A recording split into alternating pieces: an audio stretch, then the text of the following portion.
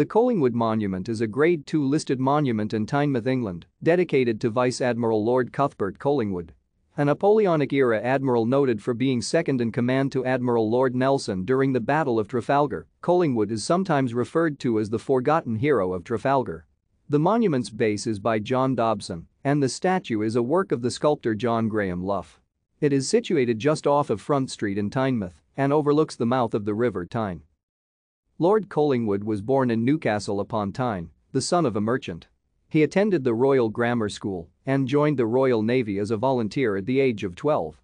From there he continued his nautical education under his cousin Captain Richard Brathwaite. After serving in the British Naval Brigade at the Battle of Bunker Hill, Collingwood was commissioned in 1775 as a lieutenant. His first command was HMS Badger after succeeding Horatio Nelson, and his first major command was HMS Sampson. Thank you for watching. Like and subscribe if you would like to view more of our videos.